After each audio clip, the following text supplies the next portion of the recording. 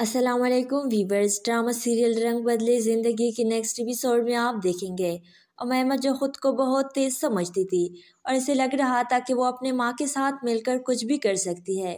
मारिया का रिश्ता भी ख़त्म कर देगी और अब्दुल्ला से शादी करके उस घर पर राज भी करेगी। लेकिन इसे नहीं पता था कि वो मारिया का रिश्ता अपने भाई से तो ख़त्म करवा देगी, लेकिन इसका अपना रिश्ता भी इसी तरह ख़त्म हो जाएगा। इसे लगता था कि इसकी चलाकियाँ किसी को पता नहीं चलेगी, लेकिन इसकी चलाकियों ने ही इसकी ज़िंदगी बर्बाद कर दी, जिससे वो मोहब्बत करती थी, जिसके घर पर राज करना चाहती थी। ऐसे ही को बेटी ऐसे तो बेहतर था कि वो अपने भाई से मारिया की शादी होने दी थी अब मारिया ने अब्दुल्ला से शादी करने का फैसला बहुत ही अच्छा किया है। अब मारिया और अब्दुल्ला की तो शादी हो जाएगी, लेकिन उमैमा हमेशा की तरह वैसे ही जलती ही रह जाएगी और इसे अपने ही फैसले पर पछतावा होगा। गुरूर का सर तो हमेशा ही नीचा होता है और इसे खुद पर बहुत गुरूर था जो खाक में मिल गया।